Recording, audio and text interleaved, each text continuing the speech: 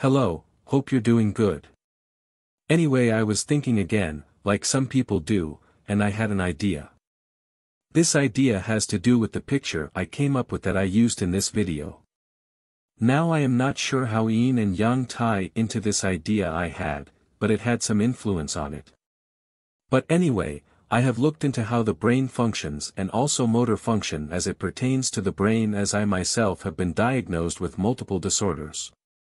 Including schizoaffective, bipolar as well as, just recently, autism.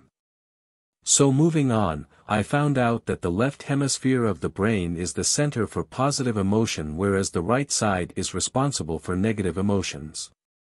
Also the left hemisphere controls the right side of the body and the right hemisphere the left. This is also true for each eye as well, which if you haven't noticed, I represented in the drawing.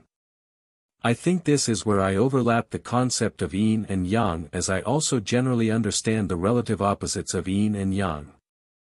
So I applied the idea of yin's negative, chaotic and feminine aspects and applied yin to the right hemisphere based on negative emotions associated with the right hemisphere, as well as applying yang to the left hemisphere for the correlating positive attributes.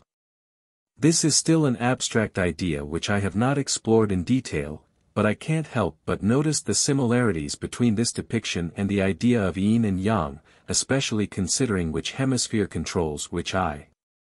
I also am wondering about how one experiences both hemispheres simultaneously as one experience, which has me wondering as to the concept of the third eye.